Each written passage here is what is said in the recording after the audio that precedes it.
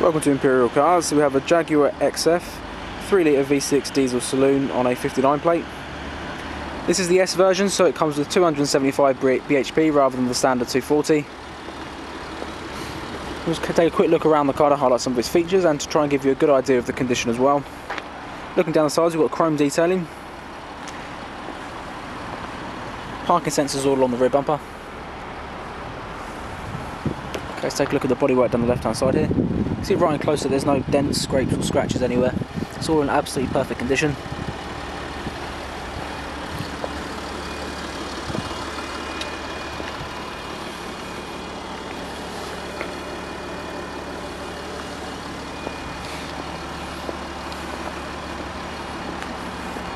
Twenty inch alloy wheels, which are in absolutely perfect condition as well as you can see there. No sign of them touching the curb, no scuffs or scrapes either.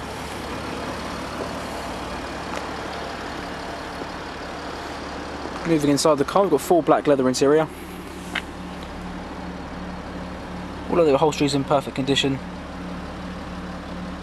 No rips, tears or stains to any of the seats. Both front seats are uh, electrically operated and heated. And the sport seats as well.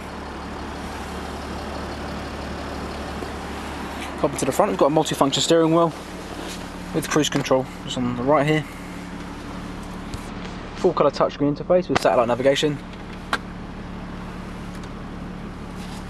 Radio and 6 CD changer with uh, USB input, auxiliary input, and also an iPod lead just in the glove box there.